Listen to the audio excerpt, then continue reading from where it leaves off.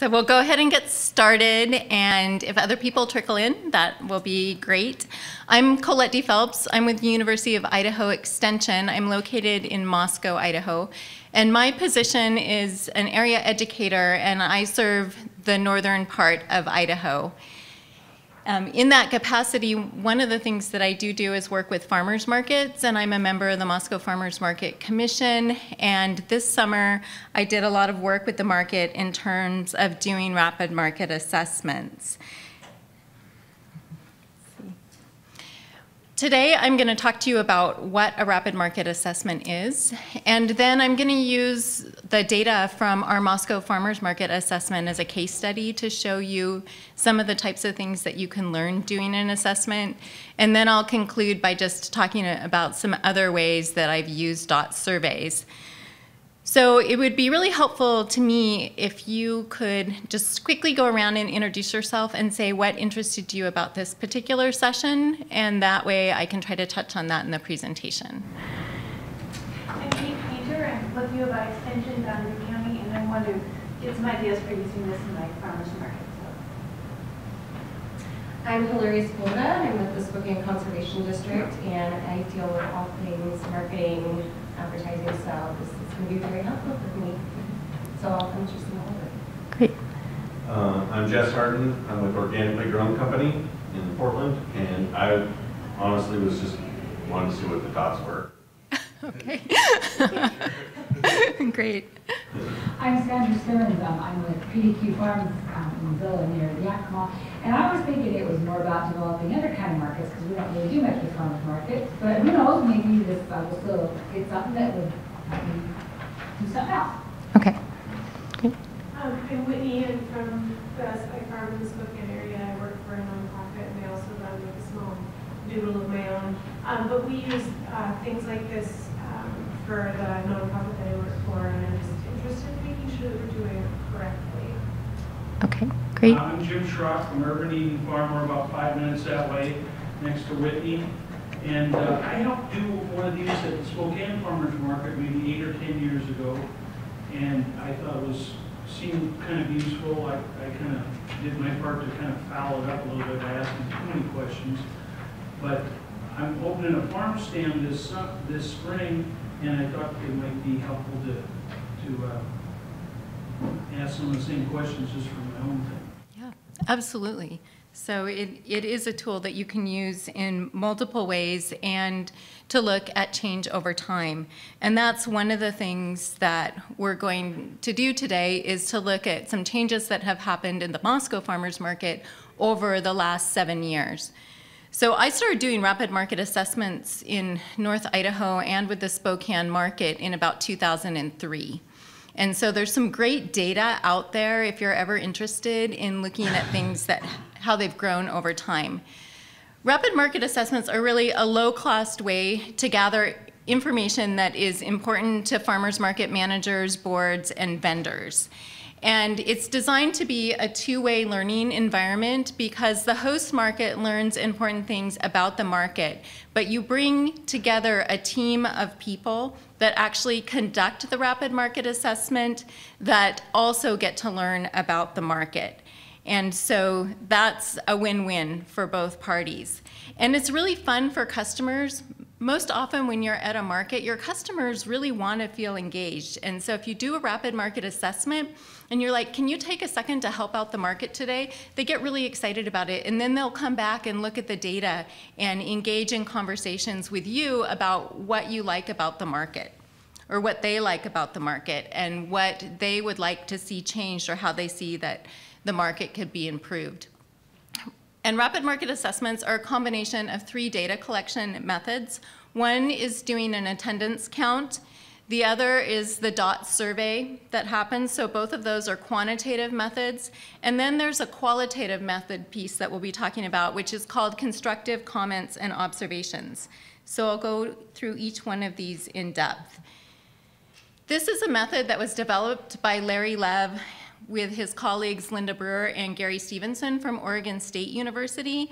And there's actually a publication that goes into more detail about how to use rapid market assessment in a farmer's market setting.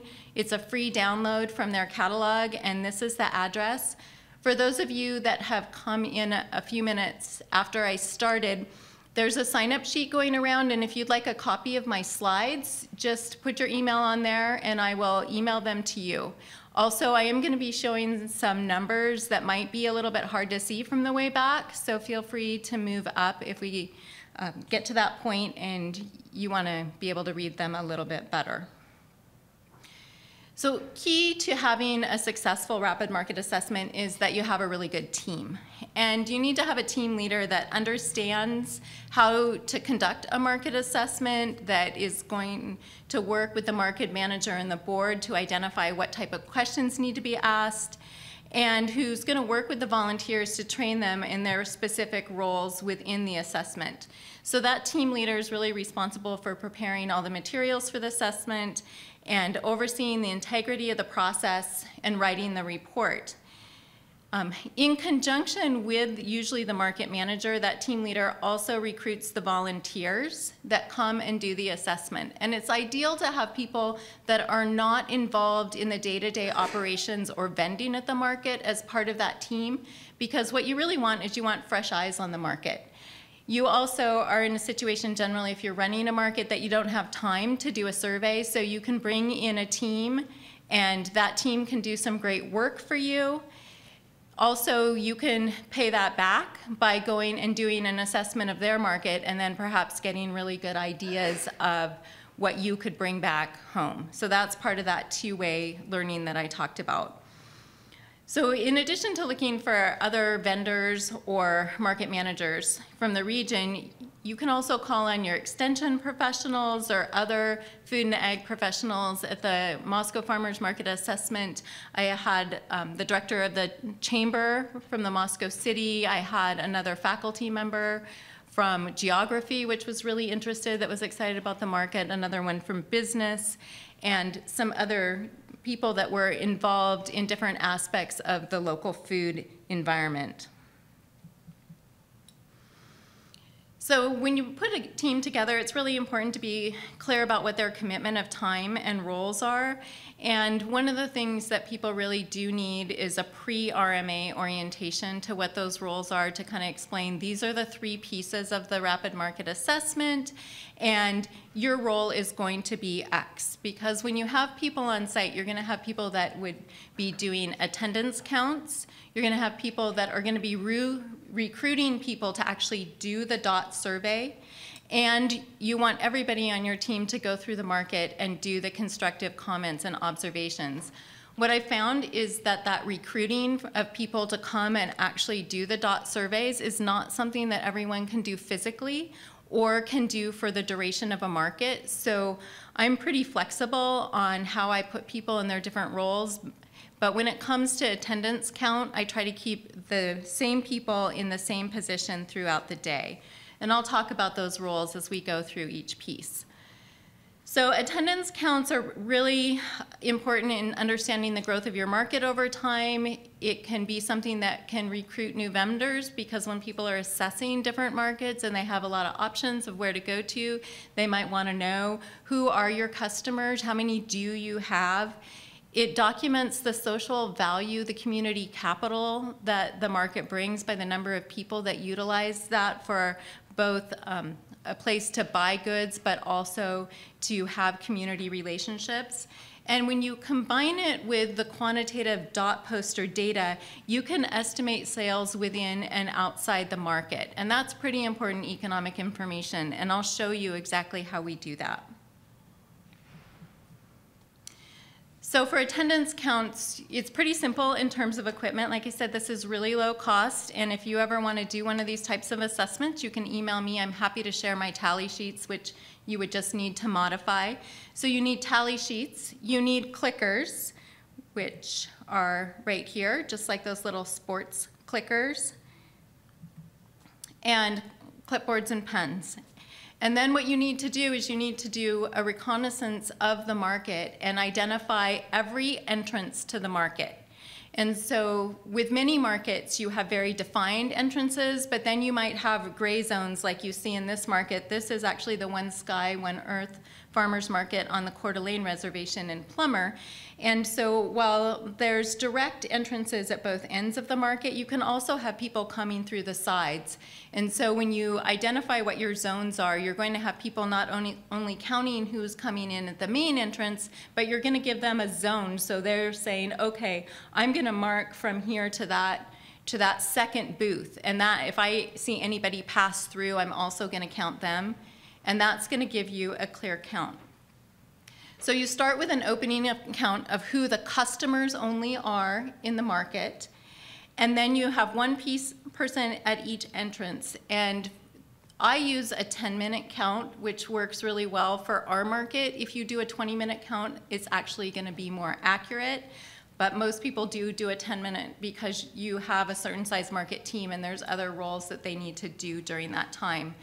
So our market starts at 8 a.m. So we do our market counts at um, 25 and 35 after the hour. If it started at 8:30, we'd probably start those counts at 9. So it's really midway in the hour.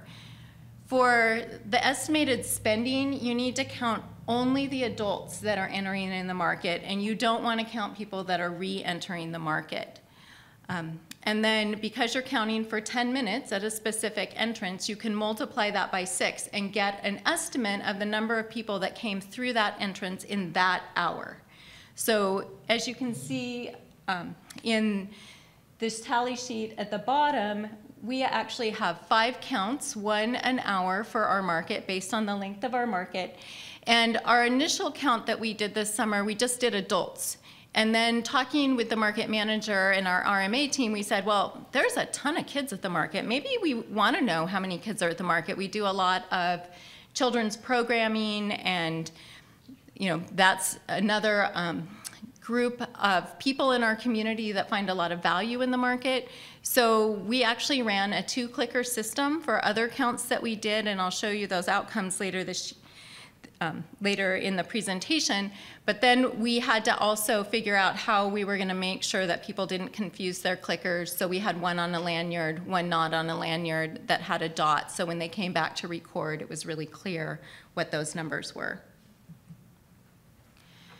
So this is showing you uh, data from the Moscow Farmers Market, uh, July 28th of this year. And so we took all of that data, well, I took all of that data, from those sheets, and then I estimated the counts by hour, which is what you see at the top.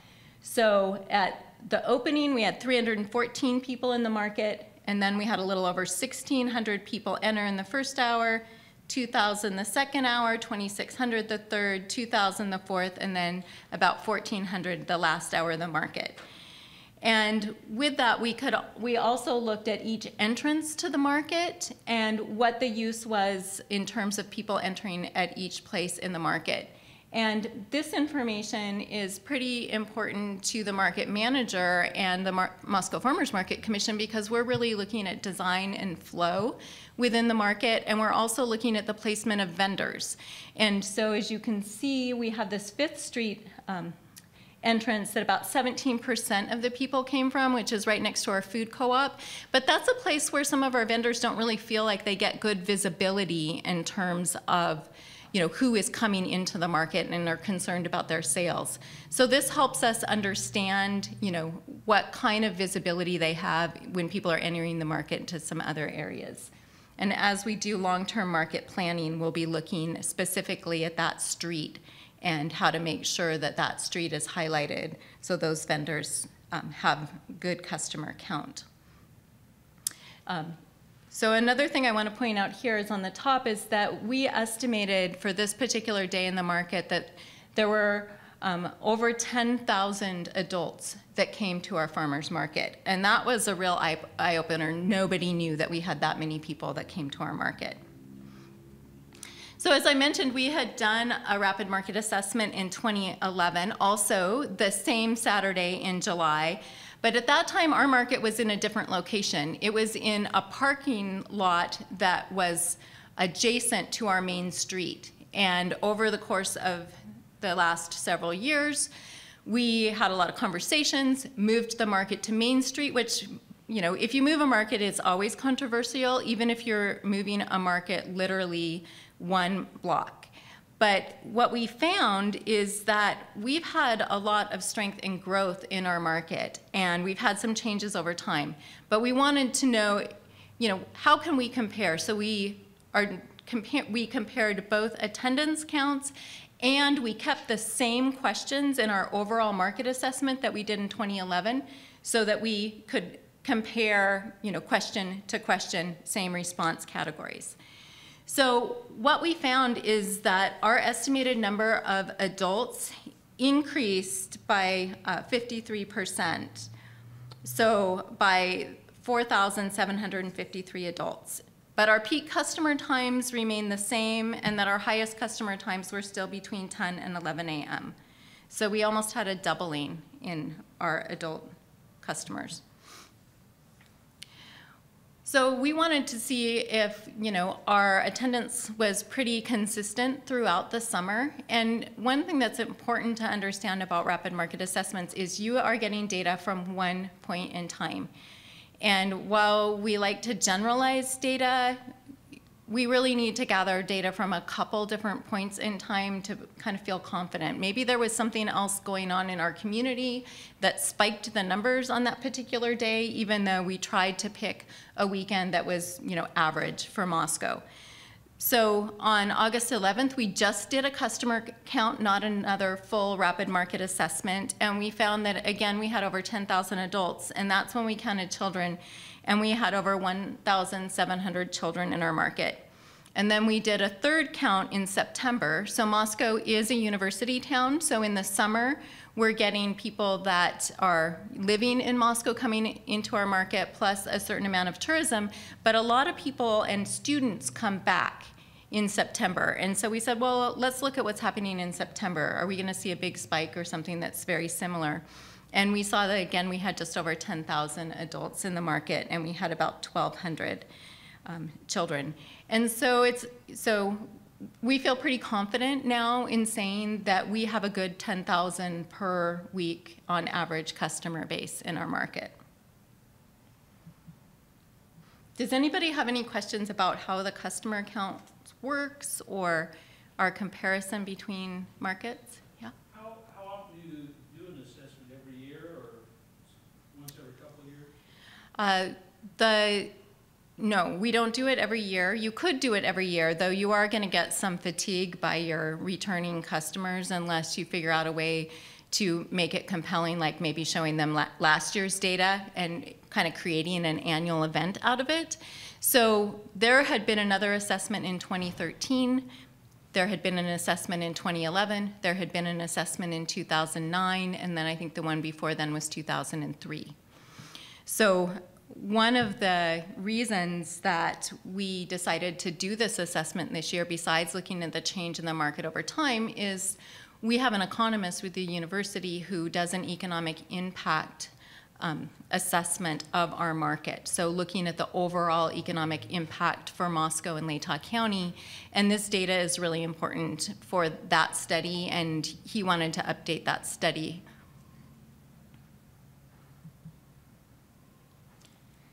So the next piece of the rapid market assessment um, I wanted to talk about are the DOT surveys.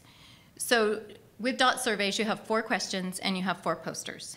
And you know, sometimes uh, when I'm working with a market, they want to have five questions or they want to have six questions, and I'm really like, no. You only have so much time that you have from your customers, and you don't want to create fatigue and have a real drop off in the number of questions. So we found four is a really easy amount of time. People see it, it looks doable, they'll stop even when they're pretty busy and um, actually answer your questions.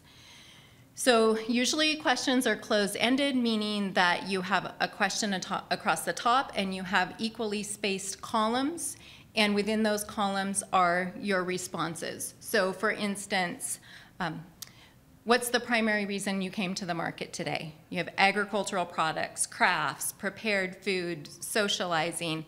If you decide that you want to have an other column and you're going to have pens available, you really need to have somebody staff that and be able to make sure they facilitate that open-ended questions. I, I try to discourage open-ended questions as much as I can, especially if you can imagine like working with 10,000 people. It's really different if you're in another market that maybe has 100 customers that come. That's a very different way of being able to converse.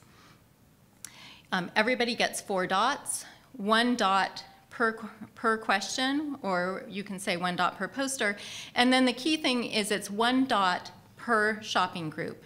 And a shopping group are the number of people that are um, shopping out of one wallet. And that can be roommates can shop out of one wallet, families can shop out of one wallet, but we have to ask people. And so in addition to saying, could you take a minute to do the dots or help out the market, when you hand them the dots, you have to make sure that they're doing that one that one shopping group because that impacts your ability to do some of the economic analysis of the spending that's happening in the market. Um, one of the things that I've also done, which is really helpful with people with small children, I have a color of dots for adults because adults are your shopping group, whether they're, you know, the 16-year-old adults that are shopping or, or older, but I have a color for children. And so when I ask an, a parent, and if you're a parent, you know that it's kind of crazy to try to do something when you have your children. And then I'm like, and you guys can do it too. I don't actually count the children's dots because I'm not being consistent about recruiting children. I mean, I could if I had a question that was really pertaining to kids. But that gives them something to do and it becomes a family activity. And families actually really like that. They stand there and they have a whole conversation with their kids about what is it that they like about the market or why did they come or if they have some of their own money, how much do they think they're going to spend at the market today? So it's pretty fun to watch. Um, all your posters have to be prepped before the market. At the Moscow Farmers Market, I know I'm going to have a lot of responses. Like we had over a thousand people that responded to our survey at the market. And so I planned that we would change the poster every hour. And so it was all prepped on, on the flip chart. I had everything ready and I had times on the posters before I got there because you you can go so fast that you can forget to actually write a time and then you don't have accurate data. So as much as you can do beforehand, that's great. Um, some people are worried about influence, like, oh, there's going to be, you know, so many people said they came for crafts, and so people are going to be like, well, I don't want to say I came for ag products. We don't really see that, but you can seed the posters if you want to start out with a certain number of uh, dots on them that are in some type of scattered pattern. If you do that, you just have to count. And I also use one color for adults and one color for children because um, people, if you have multiple colors, they get hung up on like, well, what does the color mean? And it just, you know, it's pretty to have multiple colors, but I've gone to just having one for each. Um, as I said, I changed um, mid for this market because there's so many people. I change every hour. For other markets, it might be first um, half of the market and second half because there's not so many people. And you do want to have like a robust visual attraction of those dots. So the questions are really developed with a market manager in the board, and they're really supposed to address what's most urgent on the mind of the market. In uh, 2013, like the Moscow Farmers Market, there was a big debate about dogs in the market. So that was one of the reasons that a rapid market assessment was done at that time was to get really timely feedback from uh, market patrons about whether or not they wanted dogs in the market. And in the end, we don't have dogs in our market because it was not something that there was a real high demand for in our market. But because we collected the information from the people coming to the market, it made it much less politicized to make that decision. Because in Moscow, we love our dogs, and um, it is a concern. What are your numbers? Are you just counting? Oh, yeah, so this is how I count when the sheets come off. So as I said, this is the blue are kids, that, which is kind of interesting because they came for the crafts and the prepared food and to socialize. Uh, but I actually go through when I count and I just write a number on each sticker to make sure because I'm, you know, counting over a hundred and you know, some people put a dot, but I found like this is faster and more accurate because there's a lot of hours in counting. So that's what that is. Thanks for asking. Um, in designing the questions, sometimes, especially with money, I might have like seven response categories, but I try to really narrow down those response categories. As I mentioned before, to avoid bias, to keep the different um, columns uh, equally spaced versus like, I know ag products is going to be the number one reason that people came to the market, but I'm not giving that column more weight. So I'm not biasing the responses in that way. Some people do do that. I just choose to change the posters more often and avoid that bias. Um, when you have your questions, you want to order them, the four questions, logically. I start with the ones that are the least sensitive. I don't start with, how much are you going to spend in the market today? Because that's, you know, asking people how much they're going to spend is like some of the most sensitive things that you can ask them. So I start out with, like, what's your primary reason for coming? Everybody likes to tell you why they come to the market. Where do you live? That's really important for understanding economic impact because we know if they're from within the community or outside. And then I move into the, the more sensitive financial questions. So here's some examples of questions. I talked about primary reason for coming to the market. Um, another question that a number of markets I've worked with have wanted to say, um, what else would you buy here? Or you can be very specific. Would you shop at the market more often if there was dairy available or if there was pastured poultry? And that helps the market decide whether or not they might be changing their rules to allow something in the market that they don't already allow or recruiting specific vendors. Um, what uh, one change would you recommend to improve this market? This is one where we work with the, the market manager and board to brainstorm as many categories as possible, but you would probably have another because people are going to come up with other things. Where do you live? You can do that by zip code. You could do that if you're in a bigger city by neighborhood. Um, you can do it by city. That's really something that you have to figure out based on the scale that your market serves. And then when you do something like how much have you or will you spend in the market, generally you go like 0, 10, 20, you know, like that. But if somebody puts between, um, you know, 20 and 30 on the line, that becomes 25 because they're really telling you, I spent $25. So you can get a few more responses. So um, this is from July. We asked what the primary reason was for people to come to the market. And for over half of the people, uh, it was agricultural products. And socializing was about a quarter of the people, prepared foods 10%, and then music and crafts uh, 4 and 5%. And this is really important because a lot of markets struggle about what their balance is going to be between their agricultural products and their crafts. And this, you know, crafts are important and they are attractive, but they're not the primary reason people come to a farmer's market. And so this can really help when a lot of debates come up about what the balance is going to be when you, and maintaining that as you want your market to grow. And what we really believe in Moscow, and I've heard from other markets as well, is that 50% of your vendors at least need to be agricultural if you're in a farmer's market. Otherwise, it starts to tip over into a craft market, and that's really not what the customer is looking for. They're, they're looking for a farmer's market. So for us in Moscow, when we're considering whether we're going to grow down to the next city block, because we have a really robust market, the number of people attending, but also this emphasis tells us if we're going to grow, we really need to grow our agricultural products sector. Um, and so what we saw with our change in location, which was interesting though, is that we have more people coming for socializing than we used to have. So a 13% decrease in the number of people that came primarily for ag, but we saw that really primarily tip over to people that were coming for socializing, which actually makes sense because we have an environment that is much more conducive to socializing now that we closed down Main Street and we're outside of a parking lot. And so uh, so that was that was nice and that also helps the market feel like yeah, you know, that money that we spend on children's activities and the money that we spend on the music or the entertainment, the cooking demonstrations, that's money well spent because a lot of people are coming to our market because that is of value to them. We also asked where people live, and so uh, Moscow is in Latah County. So we have a little bit more than half of the people that came to our market on this particular day that lived within La- Latah County. But we had a lot of people that were coming out from outside the area.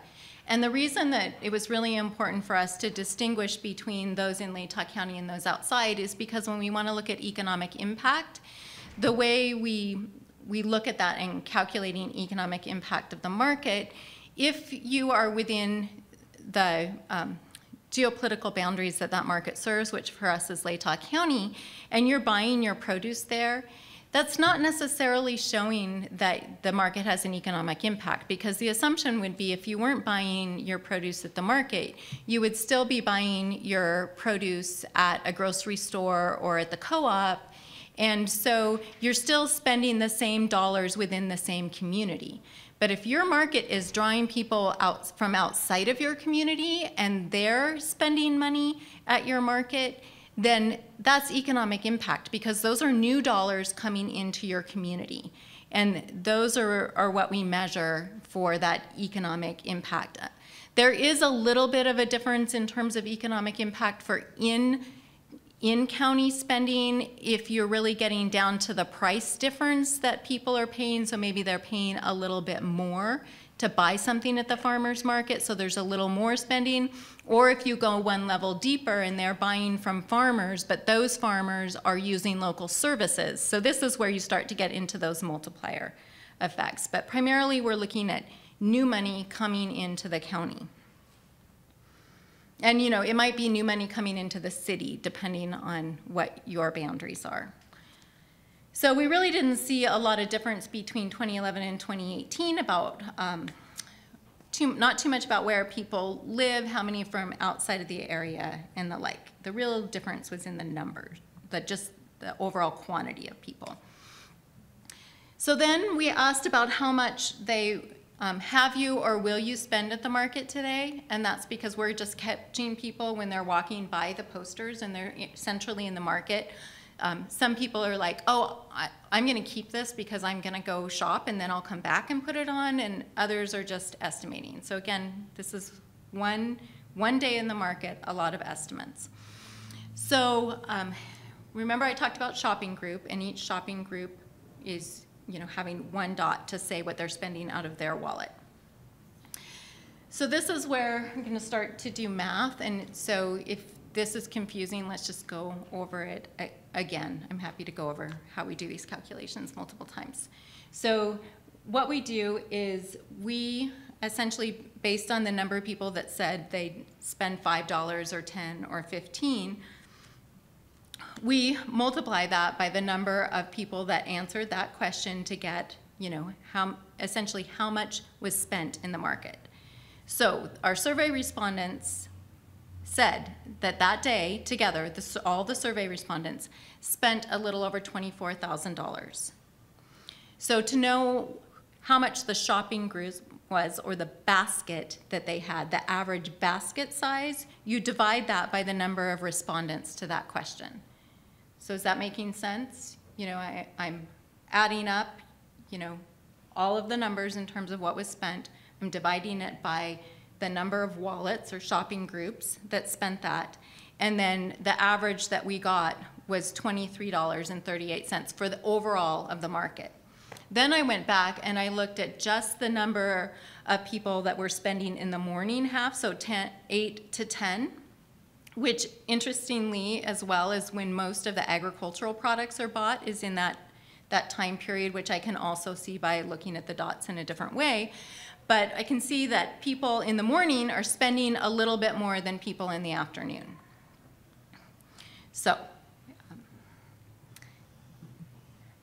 so when we um, look at this we can use that number which is an average spent with our attendance count to estimate the amount spent in the market. So we have to do one more um, qualifier when we do that.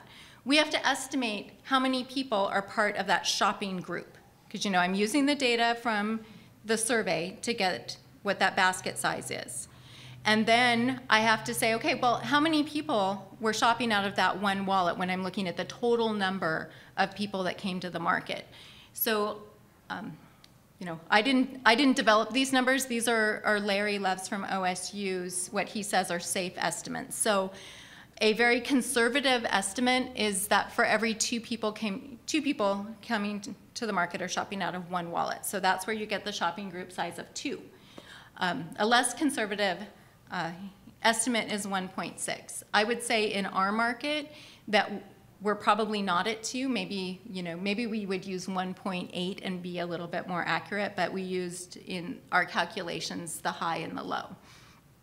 So on the low end, when we say, okay, a shopping group size is two, we take the number of people, the total shoppers, we divide it by two, we have about 5,000 shopping groups.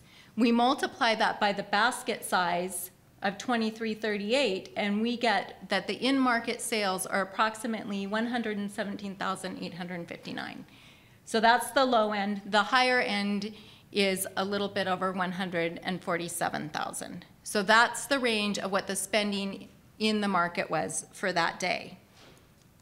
So with that, we know that about 48% of the sales were to people that lived outside of Latah County, which I, because 48 of the respondents lived outside of Latah County.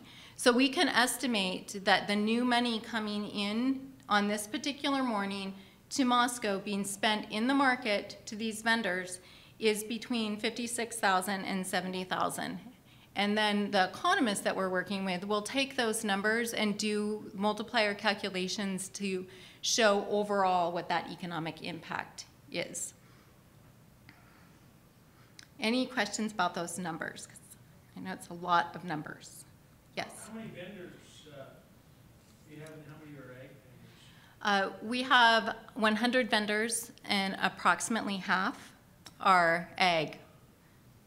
So at least 50% of our vendors are ag. Sometimes, depending on where you are in the season, it can be a little bit more, a little bit less.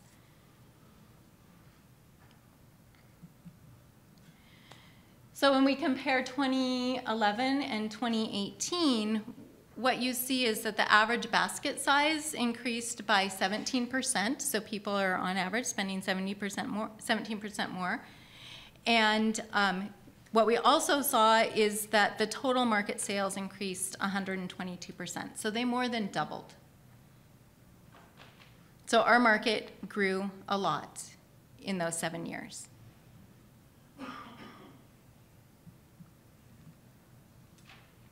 So we also asked people about how much they planned on, um, if they planned on doing any additional shopping in downtown, how much they anticipated spending. And this is important because this is where we start to talk about the economic impact of the market outside of the vendors. And when we moved downtown, it was really controversial to a lot of shop owners.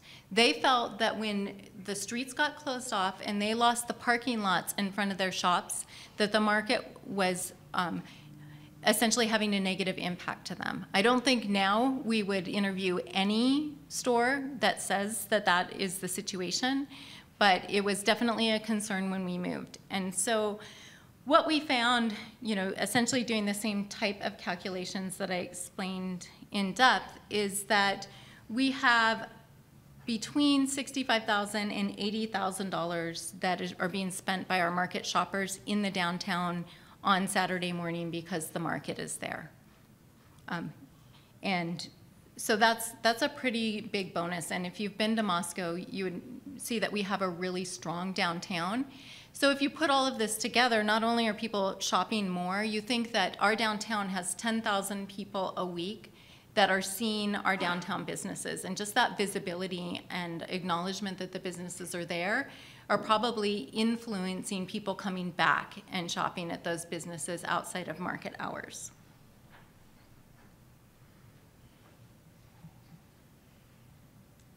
And um, again, we saw an increase in downtown spending that it was about 110% increase, so downtown spending doubled. So what's really interesting though is that the amount of per shopping group did not increase. It actually decreased by less than 1%, but we just have so many more shoppers that the economic impact is bigger. So while we saw more people spending more inside the market, we didn't get information that people are spending more outside of the market in the downtown corridor. So that was a lot about numbers. Does anybody have any questions or comments about the number side of things? Yes. What's the population of Moscow? So Moscow has about 27,000 people. And that's, that is in the school year when we have our college students present. So our population declines in the summer because a lot of people travel and the students, most of the students are gone from the university. So a huge, a huge market for a relatively small town. And because our, our Saturday market is so strong, there are not, you know, we try to draw from Latah County first in terms of our vendors and then kind of concentric rings, but up to 200 miles from the market, you can come into our market if what you're bringing in is something that local producers don't have or more. So we really dominate the market in a way that other towns cannot host a Saturday market. You, you need to go as far as Spokane and Coeur d'Alene before you get a Saturday market. Like Lewiston, which is 35 miles south of us, could not compete with this market. And so we have a couple other weekday markets, but this is really the market that dominates for Saturday. Are there any other questions or comments? Okay. I'm gonna- I want to check my time, but I don't have a timepiece. Could you let me know where we're at? Okay, okay, great. Um, Let's see. Sorry, I think I'm going the wrong way. Okay, there we go. Okay, so the third part of a rapid market assessment, as I mentioned, is constructive comments and observations. And we ask people to look at the market through four lenses, looking at the vendors and products. And so that's like the diversity of products, um, how people sign and display their products, um, the quality of the products. So it's anything about the vendors and the actual product mix. And then looking at the physical site, how is the market laid out? Some markets, like the Kootenai County market in Coeur, um, that's just north of Coeur d'Alene, they have booths that are designed, um, so everybody has a unique design, but the materials are all the same. So there's certain layout and certain things about that physical site.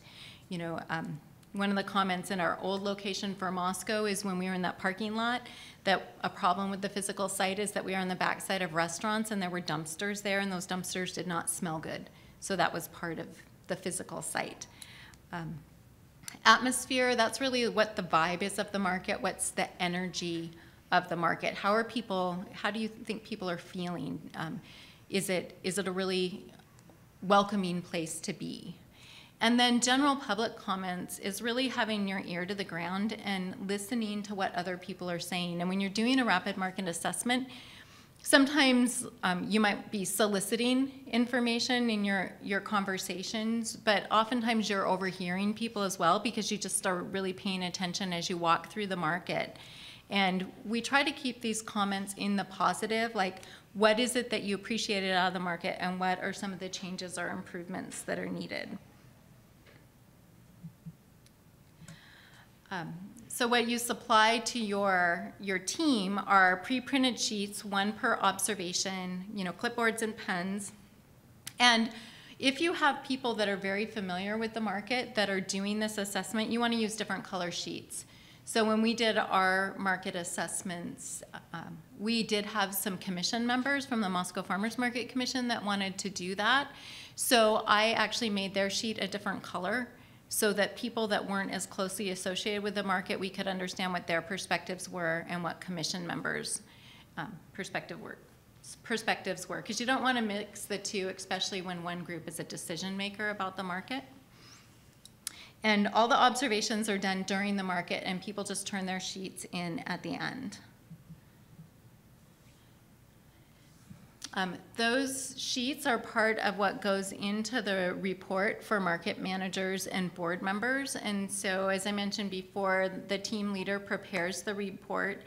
And what you see on this physical site side here is that each one of those sheets, um, there's kind of general everything you can put in terms of what you observe. But then we ask everybody to say, what's one, what's one thing that you want to say is your most important message to the market?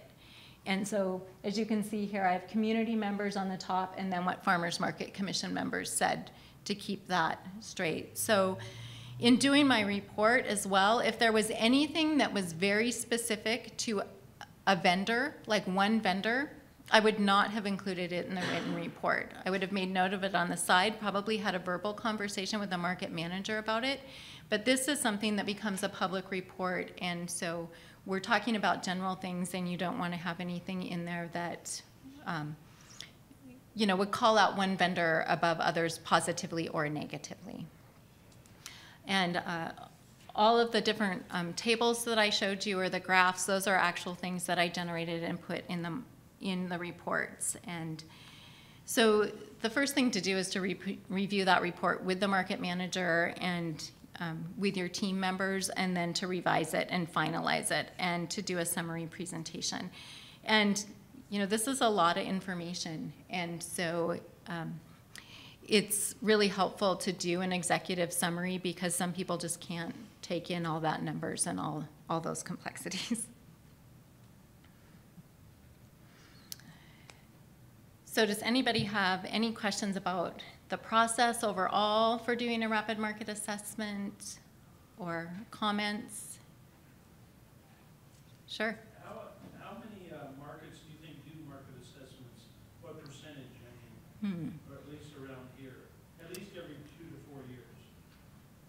I, I don't know that. I can't, I can't say I don't. I do know that a few do them, but I don't think that they're done regularly, probably unless you have somebody within Extension or another organization that has that expertise, because management of markets does change. Kate, would you think that would be different in your experience? Yeah, I don't really know either, but, um, this is the only tool that I've seen between that and Stephen Peterson's, which is not the same. Yeah.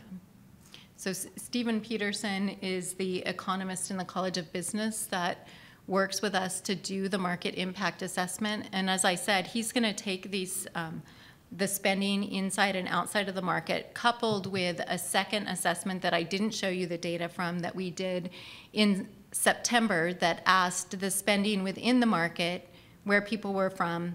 Um, and then we also asked in that one what their spending was in Moscow, not in downtown corridor, but more generally in Moscow to see if we get any other information about greater spending. Because if you have 48% of your people that are coming to your county for your market, can probably guess that they're doing other things than just downtown. And so, what's the impact outside of the downtown corridor? And when we put that together, we really talked about like how much can we refine this and actually get good data. And I, um, I think it, it's problematic. Even we did decide to ask that outside of Moscow, but it, it becomes problematic one because we asked two months earlier in the downtown corridor, and it just takes a bit more explaining, and you, you really don't know what assumptions people are making when they're when they're actually giving you that data. Um, but we decided to go ahead and give it a try. So. Um, you can always email me if, if you'd like a copy of my report that I pulled this information from. I'm happy to share that with you. And then, probably in January or February, on the Moscow Farmers Market website, there's going to be a complete economic impact assessment report that's updated using this data. And so, um, on an annual basis, the last time one of those assessments was done, the economic impact of our market was the the conservative estimate was over $3 million and the high estimate was over 8 million. And when our uh, city council saw that, that totally validated their investment in our market because our market is run by the city and they had been paying for a half-time market manager.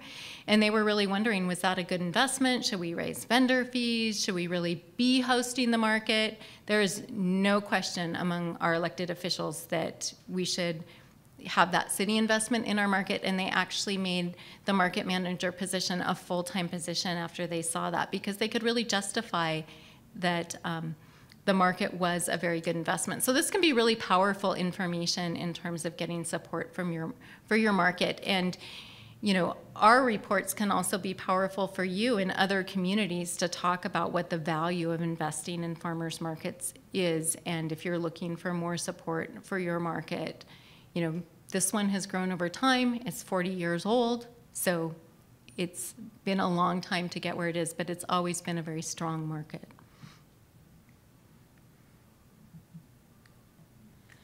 So some of the other ways that you can use these dot surveys, um, definitely for needs assessment. I've used them, you know, in Latah County our uh, fairgrounds was considering whether or not they wanted to put a shared use commercial kitchen in a Grange building. And so I did um, dot surveys at the farmers market, I did them at the county fair, and I did them at a local food festival. And it wasn't just a way to get information about whether people thought we needed a kitchen and how they might use it. It was a great way to have a conversation about what a kitchen is and what that might bring to our community and even like what type of equipment they would like to see in the kitchen.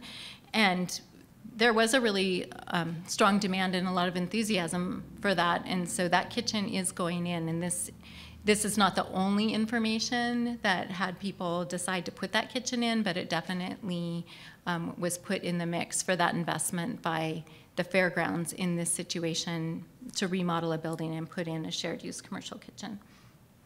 Um, this particular Snap Peas is at the market, and it's a dot survey working with kids about tastings. I've also done this type of dot survey with kids in schools, doing different local foods tastings and having them be able to share the results about what they like or what they learned. I've used it in terms of event evaluation, like our small farm conference and to, um, to also get feedback on what different kinds of programs people would like to see or topics covered in the future. And then I worked with Stephen Peterson this summer to take a version of using these dot posters to the Centennial Trail, which runs through Coeur d'Alene. They were trying to figure out like what is the impact of that trail, like how many people come from outside Coeur d'Alene specifically to use that trail. And so we developed a, an assessment at different points in the trail to um, gather that economic data. So the one qualifier I would put out there in terms of any of the economic impact assessment is that you really need to be working with an economist that understands the numbers and what they're doing. This technique was developed by an economist, but also really working with one to make meaning out of the numbers and be able to talk about them in a very valid way. So for instance, um, you know, sometimes people would want to say, well, for the farm, for the Moscow Farmers Market, that the economic impact is, you know, it's really $117,000, which is the total sales in the market for that particular week in July. Well, it's really not. It's really more around 50 some thousand dollars because it's the sales that are coming in from outside the community. And so it's important to really understand the difference and make sure that you're using the data in a way that's clearly conveying what's going on in terms of your market or whatever asset that you're looking at the economic impact of.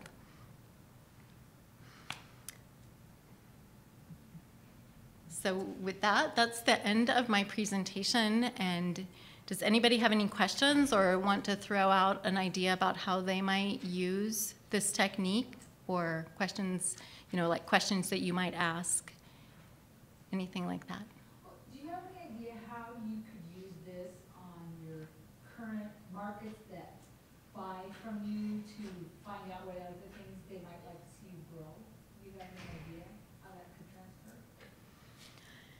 You mean working, like, tell me who your current markets Well, okay, are. So, so we're selling to these different um, co-ops, and we're thinking, well, maybe we'd like to grow some other things too. And I'm just wondering if this would, there would be a- an easy way to survey them to see what they'd like to see grown?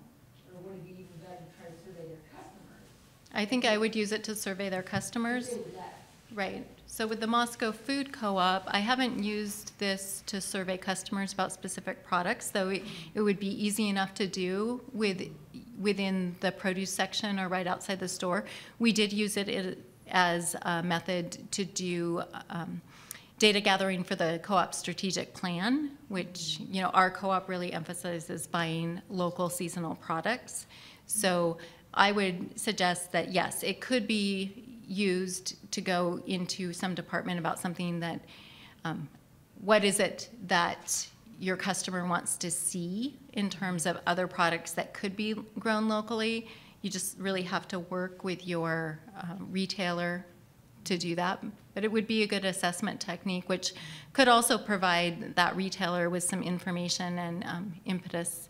Um, there are some questions which are in that publication that I talked to you about that do ask how much more might you pay for something. So that in terms of like a retail survey, I could see the value of saying, you know, if if the cost of this product is X from, you know, California or out of the area, would you be willing to pay X amount per pound more for a local product or that type of um, sensing of what your market could bear in terms of price points? There are other questions or ideas?